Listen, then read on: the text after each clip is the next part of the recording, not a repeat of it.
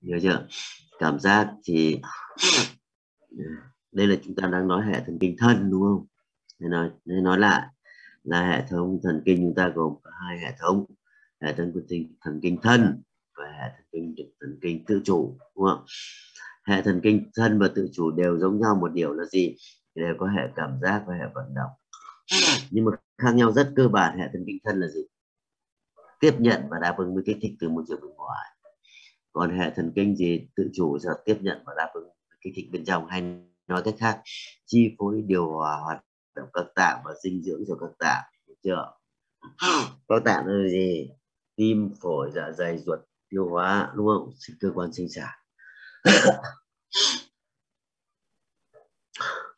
Hệ thần kinh thân hệ thần kinh ờ, tự chủ đều có hệ cảm giác và vận động. Mà ta tập trung chủ yếu vào gì?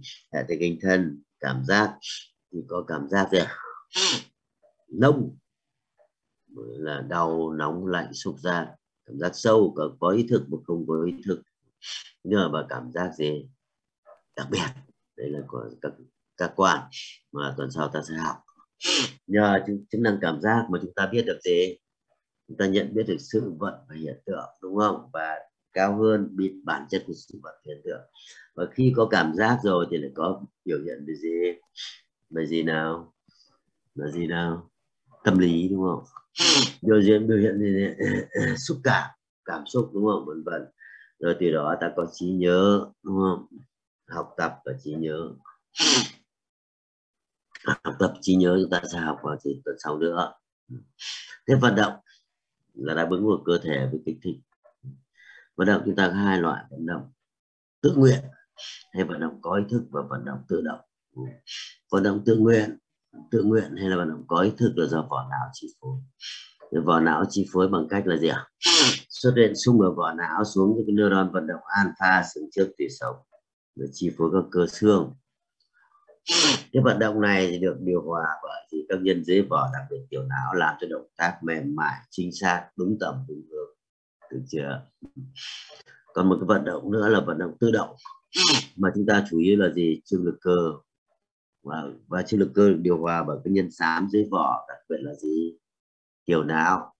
Do đó, nó cho tác dụng giữ tư thế cho cơ thể. Việc rất đơn giản cho cơ thể là giữ tư thế cho cơ thể. Và điều hòa các phản xạ tư thế và chỉnh thế đây có vai trò rất quan trọng là gì? Của tiểu não. Tiểu não điều hòa chứng lực cơ bằng để thông qua nhân đỏ, làm giảm chứng lực cơ nhân tiền đình làm tăng chứng lực cơ. Được chưa? Nào. Như vậy về vận động, đúng không? Thế bây giờ chúng ta mình lưu ý là gì? Chương lực cơ là gì? Là mức co cơ tối thiểu của cơ trước khi nó co được duy trì bởi gì? Bởi một cái phản xạ tùy phản xạ tùy là gì? Phản xạ có trung tâm ở tùy tùy sống. Mà phản xạ trên lực cơ, các cơ nó co này, luôn co mức độ nhất định này. Các cơ này co được là nhờ một cái neuron vận động gamma tùy sống. Thường xuyên phát xung động làm các cơ co mức độ nhất định người ta gọi là gì ạ? Trường lực cơ được chưa? Được chưa? Đấy qua điều hòa trường lực cơ chúng ta có thể thể nha để sau đó chúng ta học bài gì? Sinh lý co cơ. Chủ yếu là gì? Làm cho sợi gì? Sợi actin chưa trần loại myosin phải cần có canxi và gì? Và gì? ATP năng lượng hình thức co cơ thì có cơ co cơ gì nhỉ? Có cơ đẳng trương.